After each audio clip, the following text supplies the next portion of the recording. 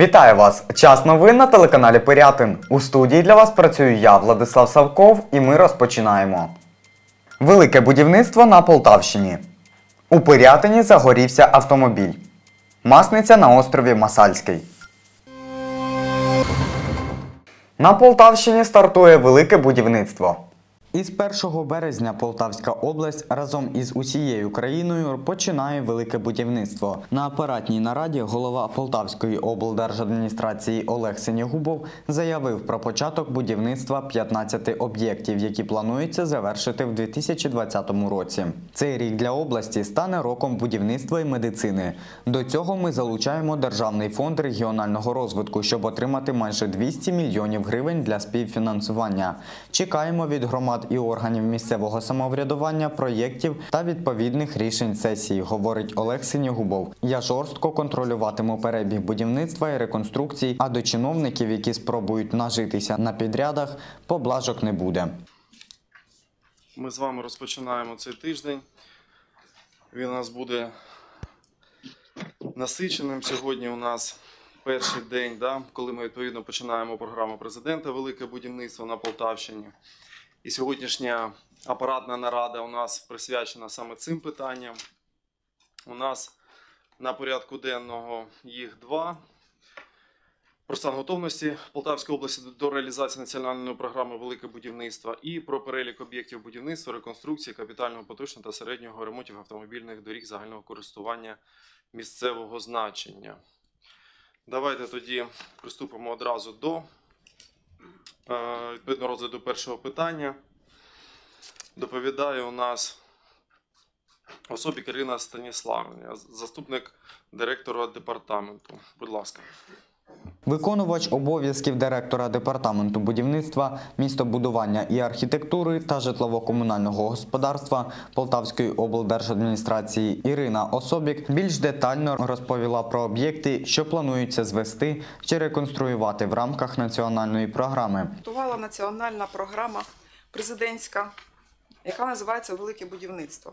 Цією програмою передбачено будівництво, реконструкція, капітальний ремонт шкіл, дитячих садочків, приймальних відділень лікарень, амбулаторій, житлових будинків, стадіонів та доріг по всій території України. Головне завдання програми це визначити пріоритети.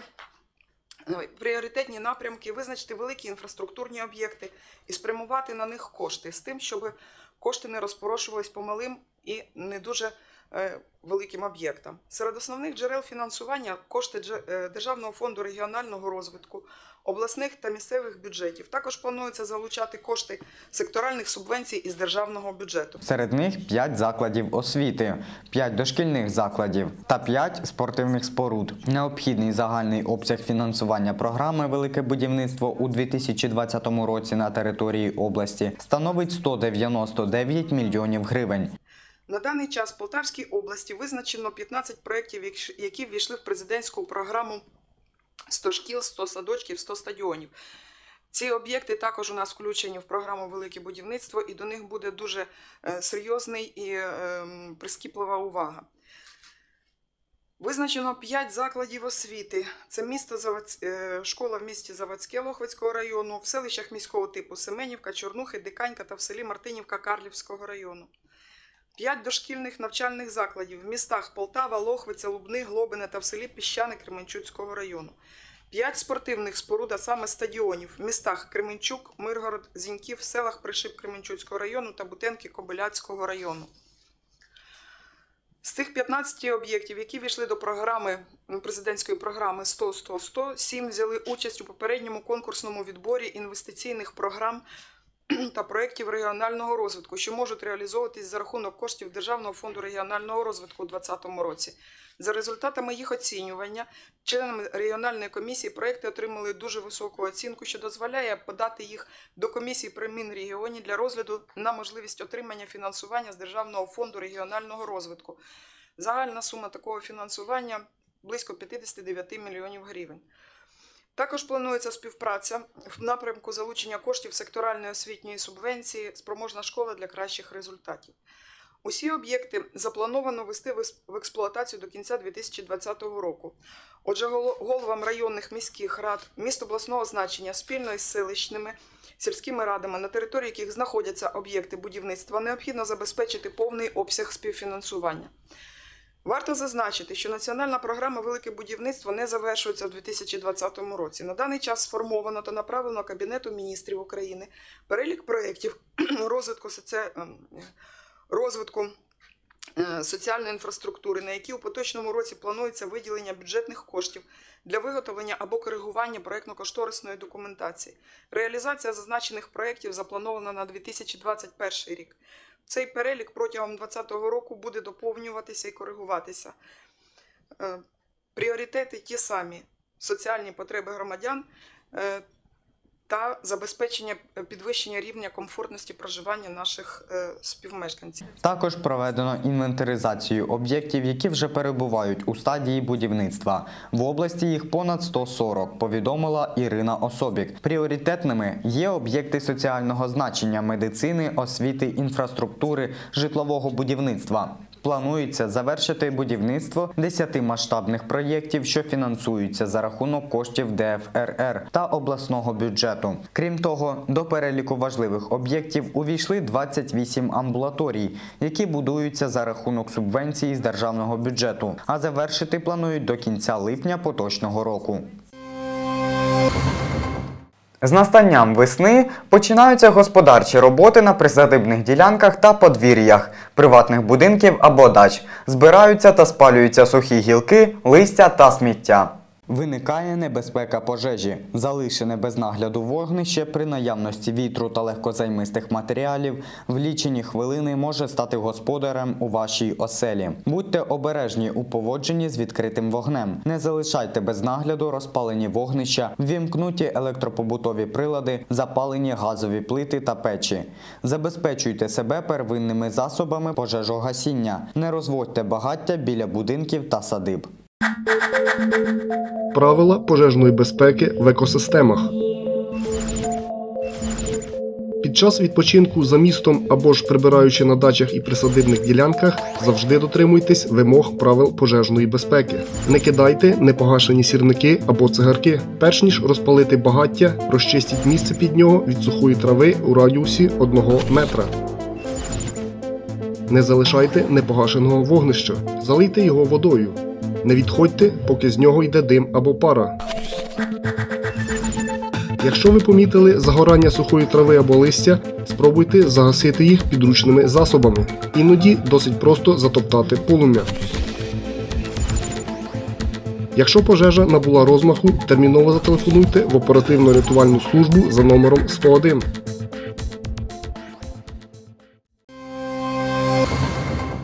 У Пирятині цієї неділі по вулиці Гоголя о 12.00 в гаражі загорівся автомобіль. Про це далі.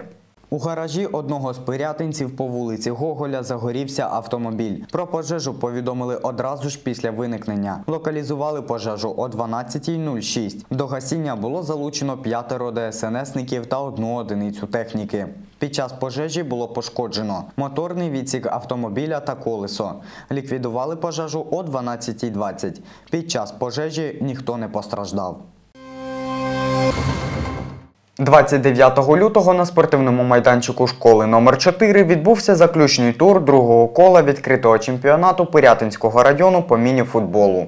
Наводимо результати туру. ФК Енергетик ФК Фортуна 3-19. ФК ДЮ США ФК Лубни Лейкерс 4-11. ФК Велика Круча ФК Удай Курінька 9-8. ФК Юність ФК Козацька 6-12. ФК Ветеран ФК Малютинці 0-3. Турнірне становище команд чемпіонату має слідуючий вигляд. Перше місце ФК Велика Круча, друге місце ФК Малютинці, третє місце ФК Удай Курінька. Кращий воротар чемпіонату Бих Ігор, команда ФК Козацька Пирятин, кращий бомбардир Сергієнко Артем, команда ФК Велика Круча, на рахунку якого 75 забитих м'ячів.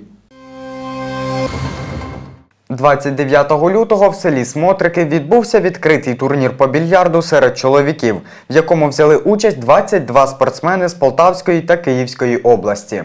Вдало виступили спортсмени з Яготинського району, які потрапили до фіналу та розіграли місця з першого по третє. Перше місце посів Роман Кісіль, друге місце Владислав Пальчик та третє місце Юрій Руденко. Турнір, який проходив вдруге на теренах смотриків, приніс позитивні емоції та захват вболівальників. 1 березня в Пирятинському ліцеї відбувся волейбольний турнір пам'яті видатного земляка, заслуженого майстра спорту міжнародного класу Михайла Роздабари. В традиційному турнірі взяли участь команди міст Гребінки, Миргорода, Лубен та Пирятина. Перемогу святкували згуртована команда ветеран Миргород. Друге місце посіла амбіційна команда Сула Лубни. Третє місце ветеран Пирятин. Місцевий осередок ГО ВФСТ Колос висловлює подяку за сприяння проведення спортивних заходів. Цієї неділі відбулося святкове, яскраве та мальовниче шоу під назвою Висхідна зірка. Було багато музики, танців та веселощів, подарунків та солодощів. Про це далі у сюжеті. Сегодня у нас праздничное, яркое и красочное шоу, которое называется «Восходящая звезда». Будет много музыки, танцев, веселья, подарков и угощений. Мы приглашаем всех вместе с нами получить удовольствие от прожитого сегодняшнего дня, который надолго останется в памяти нашей и наших детей. Добро пожаловать, наслаждайтесь шоу и восхищайтесь нашими гимнастками и акробатами.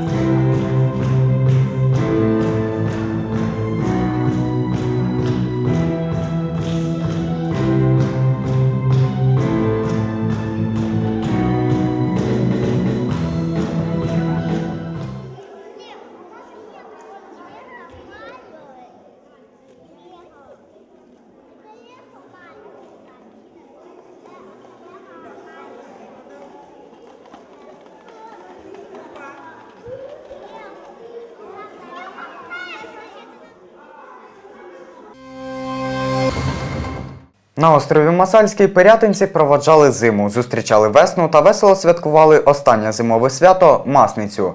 Масниця або Колодій одне з найулюбленіших українських свят, що корінням своїм сягає ще часів Київської Русі. Учасники художньої самодіяльності Пирятинської міської ОТГ влаштували театралізоване дійство з танцями, піснями та традиційним вогнищем, на якому спалили опудало масниці, що символізує прощання із зимою та зустріч весни.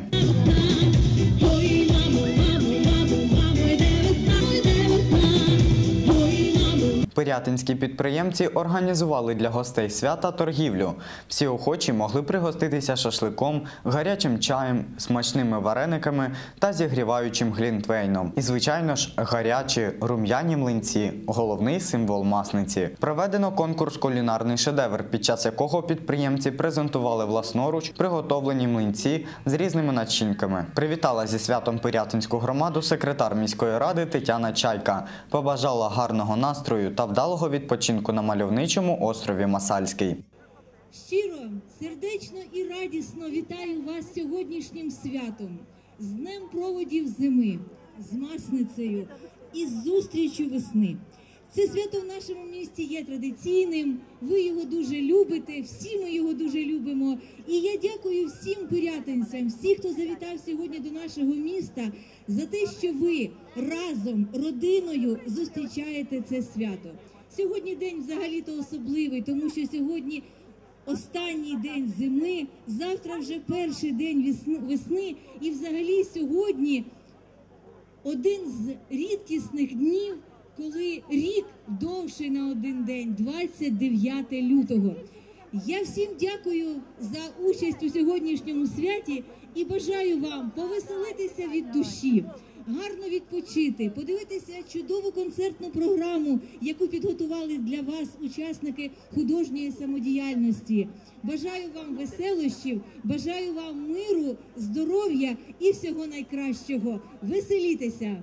За активну участь у культурно-мистецькому заході Пирятинська масниця подяками міської ради відзначено трудові колективи ТОВ ПКЗ Агро, ДП Пирятинське лісове господарство та НПП Пирятинський. Продовжилося святкування виступом вокального гурту Куми за сприяння ТОВ Баришівська зернова компанія. І кажу, ти мені сало поклади, ми любим сало, сало, сало, воно нам всім в житті допомагало.